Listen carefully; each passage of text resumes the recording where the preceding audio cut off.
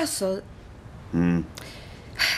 dovrei dubitare dell'impegno che hai preso con me. No? Perché? Perché qui dicono che tornerai con la tua ex moglie. Cosa? Guarda, pagina 6.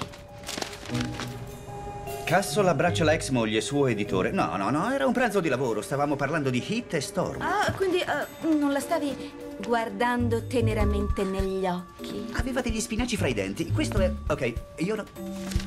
Questo perché non mi hai fatto annunciare il fidanzamento. Ne abbiamo già parlato, le persone alle quali teniamo già lo sanno. Sì, e dato che io sono un personaggio pubblico, tu non vuoi esserlo, lo so. Esatto. Beh, basta che questo non sia un problema per te. No, perché non è vero. Ho solo più materiale per poterti torturare. Ah. Mmm, l'allieva diventa maestro.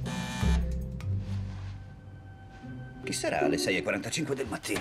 Salve, Mr. C. Non l'ho svegliata. No. Stavo andando a lavoro e sono venuto per la mia lettera di raccomandazione. Sì, per la domanda. eh, per, per la borsa di studio. Apprezzo molto quello che fa. Ho detto ad Alexis che l'avevo finita, ma non è proprio così. La, la sto ritoccando, voglio che venga una bella lettera. Lei è un perfezionista, come me.